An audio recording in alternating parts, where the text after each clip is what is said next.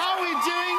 Thank you for being here. We're so happy that you're both here. Now tell me, Halloween time, Jason, do you and do you and Lisa and the kids, do you go trick or treating? Do you do all of this? Absolutely. Yeah? Absolutely. Yeah, we have a little neighborhood that uh, gets all decked out, and we get the you know the whole family together and go over there. Do you dress up?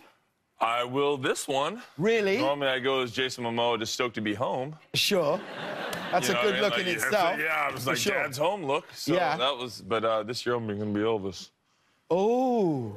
Yeah, man. Uh, Oh. Yeah. uh, I want to be some Elvis. Momoa. Momoa. Oh. Now, Alfre, Halloween, is it a big day for you? Do you look forward to it? I hate it. Thank you. It is the worst holiday Alfre. I Alfre. No. When your it. babies were little, you didn't like it? They dress them up as little pumpkins, little pigs, and things like that. What's wrong with you? ever. I, you know, No, here's the thing. I like it. I like it for children. yes, It's when it gets to like adult. I mean, it's just brutal. But you don't understand what it's like to work here, Alfre. You don't understand. They like, look at the band. Look at the band. Look, look at this. But this, they, people have been walking around like this all day here. And do you know what I've realised? The best thing to do, and it kills them. What? Don't acknowledge it.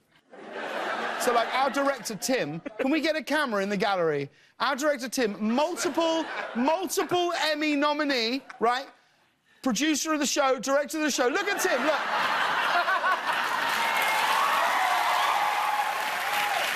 Amazing. No. That's a great one. I know. He came up to give me a note earlier in rehearsal. I just completely didn't mention it. Just thought, you know, this is on you, America.